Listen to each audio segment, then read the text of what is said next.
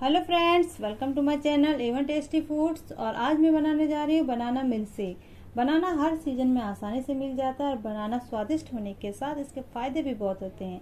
बनाने से हमें एनर्जी भी मिलती है और वज़न बढ़ाने में भी हेल्प करता है। तो चलिए बनाना मिल्क शेक बनाना शुरू करते हैं। यहाँ मैंने एक मिक्सी का जार ले लिया है, दो केला ले लिया है। केले को मैंने छील के काट लिया है तो इसे डाल देते हैं। आठ से दस मैंने यहाँ काजू ले लिए तो इसे भी डाल देते हैं। चार मैंने आइस क्यूब ले लिया है तो इसे भी डाल देते हैं।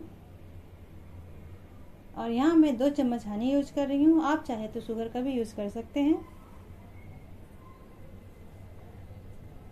तो दो चम्मच मैंने हनी का यूज़ किया है यहाँ पे।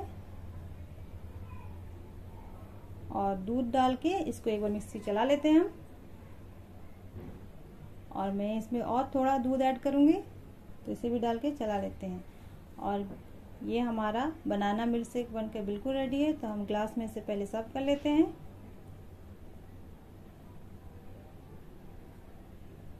और थोड़ी सी मैं गार्निशिंग कर देती हूँ तो थोड़ा सा मैंने पिस्ता लिया है, इसे भी डाल देते हैं।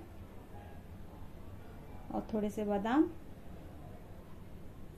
और ये हमारा बनाना मिल्क शेक बनकर बिल्कुल रेडी है, बहुत ही टेस्टी और बहुत ही हेल्दी और इसे बनाना बहुत ही इजी होता है। तो कैसी लगी मेरी आज की रेसिपी कमेंट में ज़रूर बताएँ और लाइक से सब्सक्राइब ज़रूर करें। Thank you